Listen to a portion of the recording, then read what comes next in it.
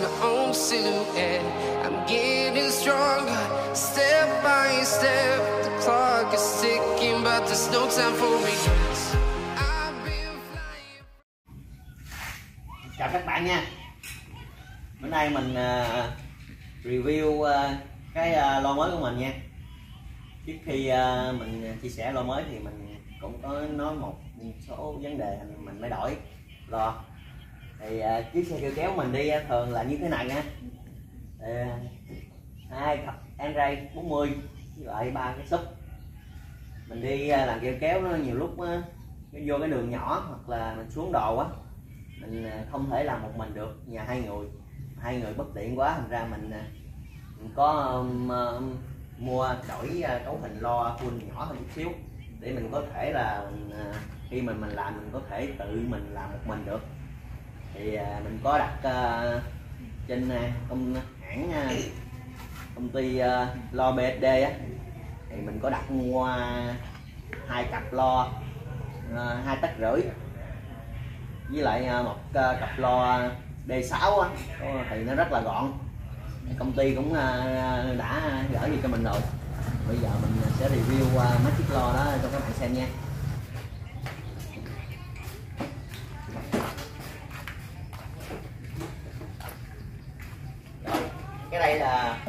Mấy lo ờ, của công ty đã mới gửi về cho mình nha.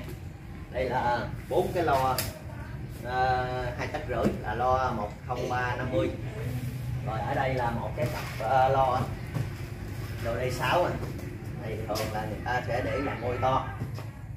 Rồi bây giờ mình sẽ ờ, mở xem lo hai tấc rưỡi nha. Coi thế nào nha các bạn.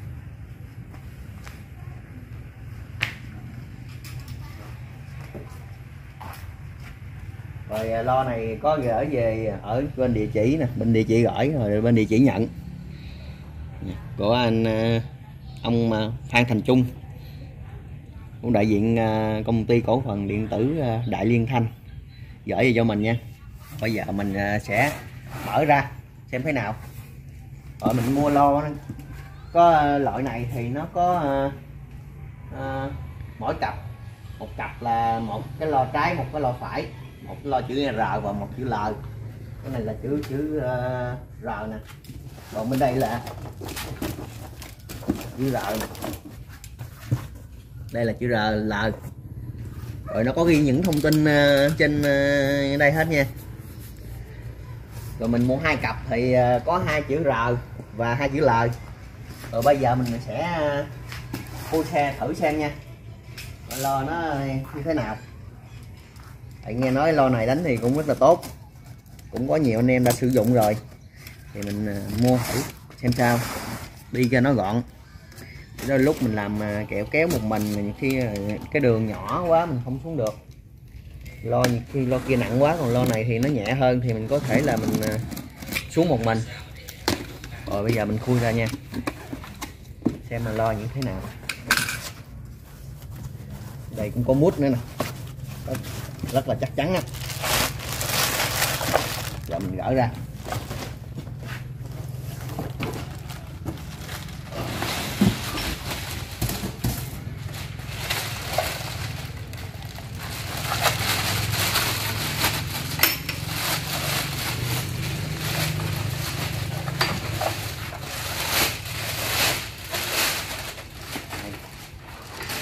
lo lo rất là gọn nha tầm mười mấy ký thôi.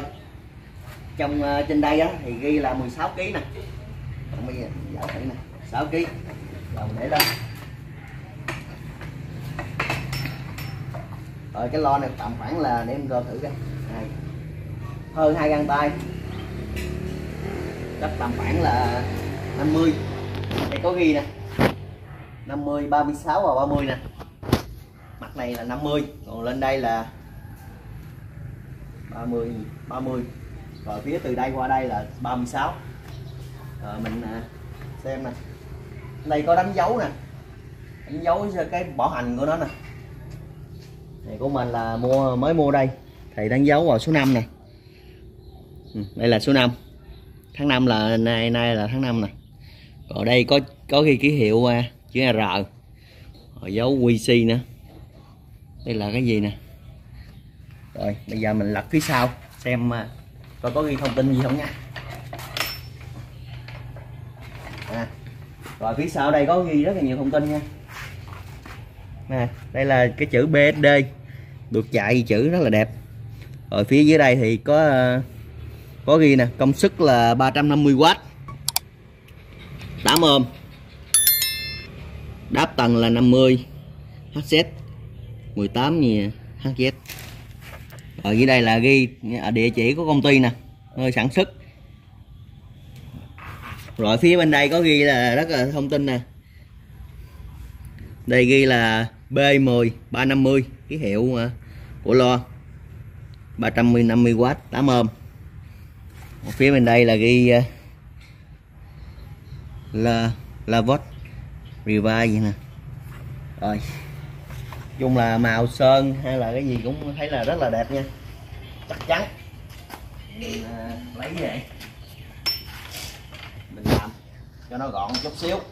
Đi chở xe nó nhẹ nhàng lại thì khi mình đi xa hoặc là vô cái đường nhỏ thì nó nhẹ lại thì mình khỏe hơn. Chứ nhiều khi mà đi cái lo bự nặng quá thì khi cái đường nhỏ nó lắc quá mình cũng sợ. Cái lo này thì à, nhỏ lại thì mình đi khoảng 4 cái thì tầm khoảng à, một cái 16 kg tầm khoảng 6 à, hơn 60 kg thôi. Phía trên thì nó chất xe lên cao quá nó cũng không đến đổi mà lắc dữ nữa. Rồi bây giờ mình à, đây là cái lo.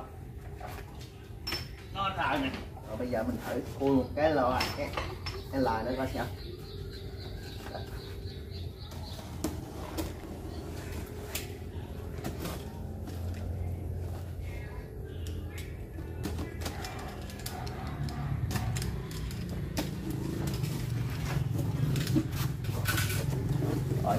hộp rất là chắc chắn nha. Cái miếng mút nữa. Cho nó lo nó được an toàn.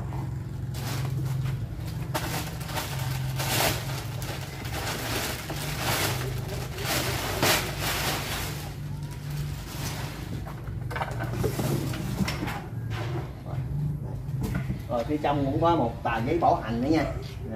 Nè tờ giấy bảo hành của công ty nè. Giờ mình úp lại mình để cái lo này lên luôn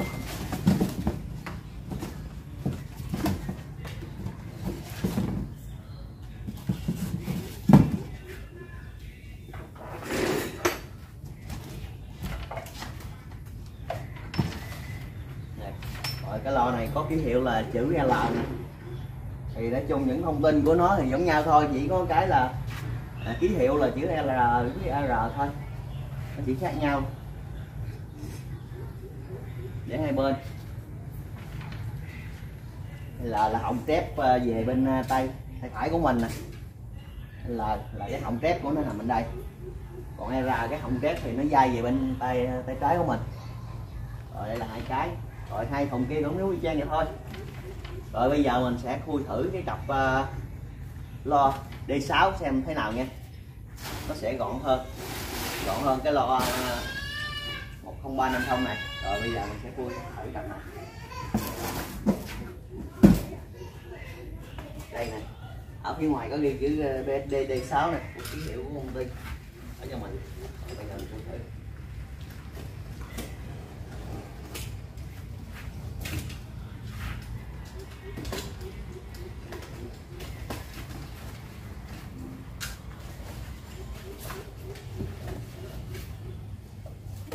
để lót mót rất là nhiều nè mót này để vô ngay góc này rất là chắc chắn Rồi, ui, đây.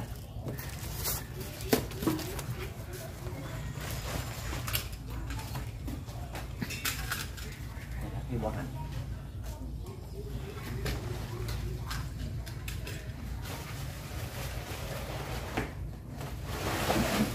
đây là đây sáu của mình đây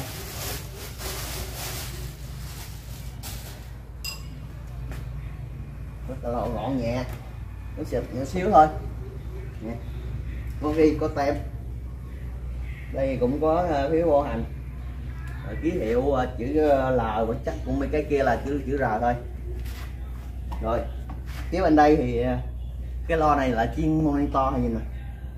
Thì ta sẽ có gắn bốn cục cao su này khi mà mình làm monitor mình sẽ để kiểu này. Rồi. rất là đẹp.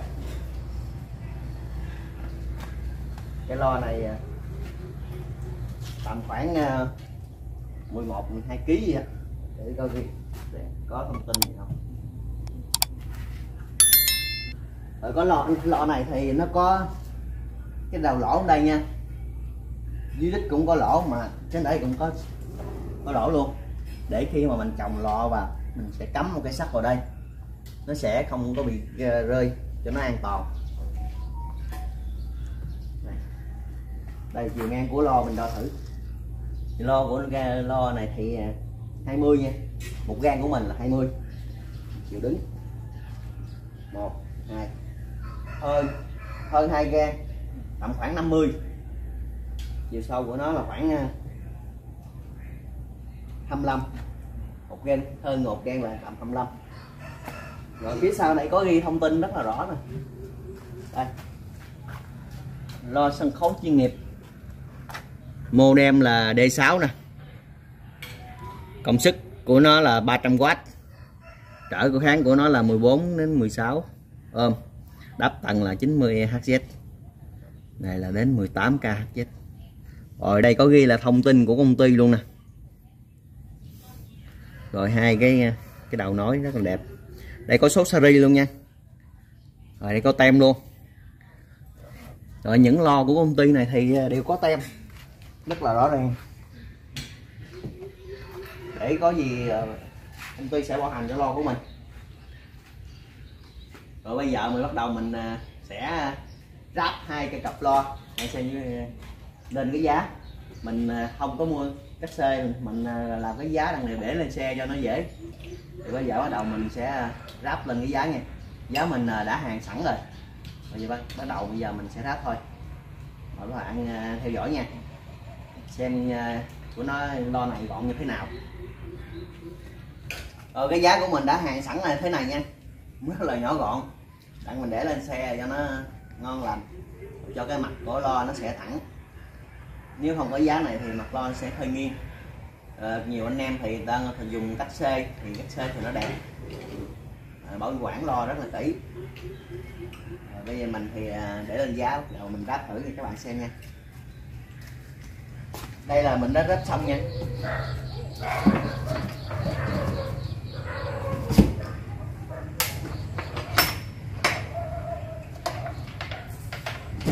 đây này này đây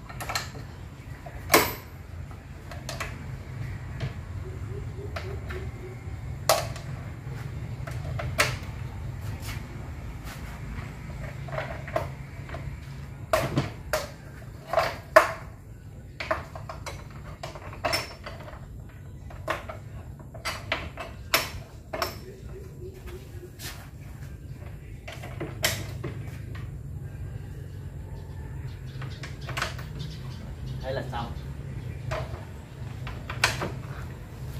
rồi ờ, cái này là hai cặp lo nha. Cậu mình rinh thử coi. Ờ, à, cũng rất là nhẹ. À, đây.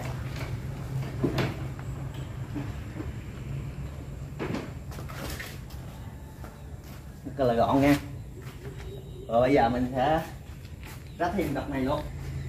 Rồi bắt đầu mình để lên.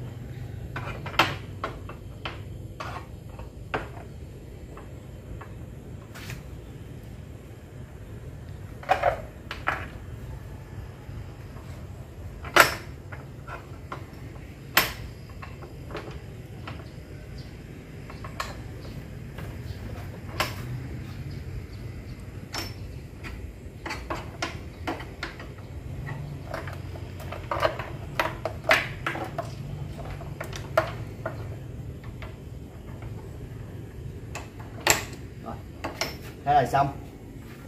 Hai cặp. Dạ, Giờ mình đem vào đây nha hai cặp ấm tầm khoảng nè, ba mươi mấy ký nè bằng một cái lô kia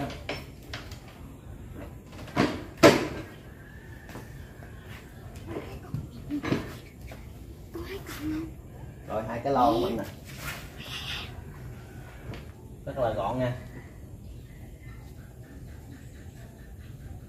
Nó kia hơi ngóc đầu quá, rồi mình hạ xuống. Không biết sao, không biết xíu nữa.